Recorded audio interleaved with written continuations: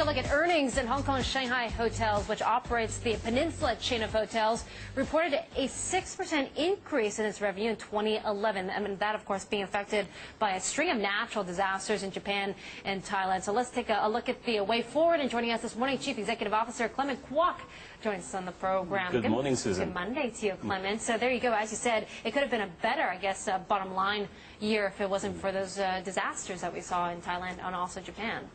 Indeed, Susan. Um, after the uh, earthquake occurred in Japan, our business was very much hit.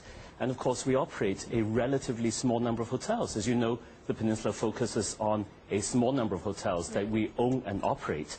So our financial exposure to each hotel Yeah. is relatively much larger than many of our competitors. How much do you think the earthquake cost you? How much do you think the flooding in Thailand cost you? Well, what I would say to you is that our underlying earnings for last year went up by 14% as it was. If we hadn't had Tokyo and Thailand, Yeah. uh, the disasters there, the underlying earnings would have gone up by a significant percentage. Okay, you're still handing out a dividend of 10, 10 cents uh, each. Uh, do, you, do you want to do that, considering that you have repair work to do in Tokyo and also, I'm sure, in Thailand as well?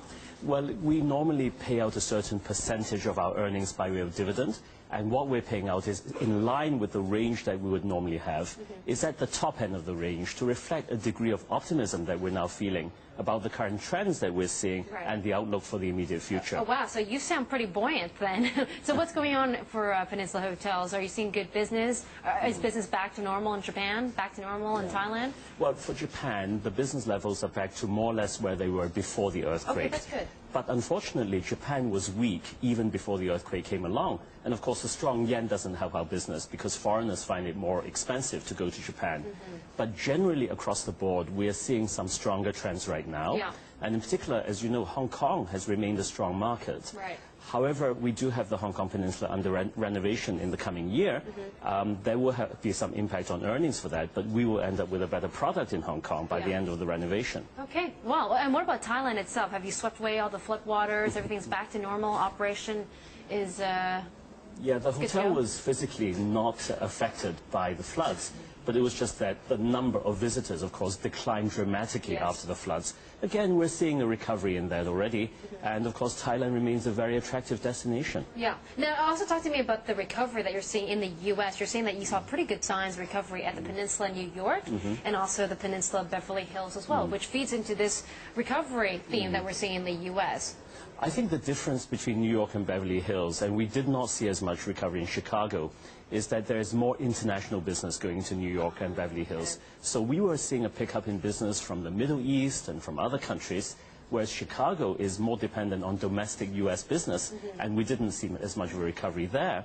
But again, you know, signs are generally still not too bad at the moment for our business. And what about also in uh, in Europe as well? I know you got a few hotels there dotted across the eurozone. Well, at the moment, um, we're building our first hotel in uh, Europe, which is in Paris, and the hotel will open next year. That's it's on going to schedule? be, it's on schedule. It's Okay. a beautiful hotel in um, a very majestic, grand old building, Okay. and we'll start operating in Europe from next year. Well, it's not like it's, it's Versailles, right?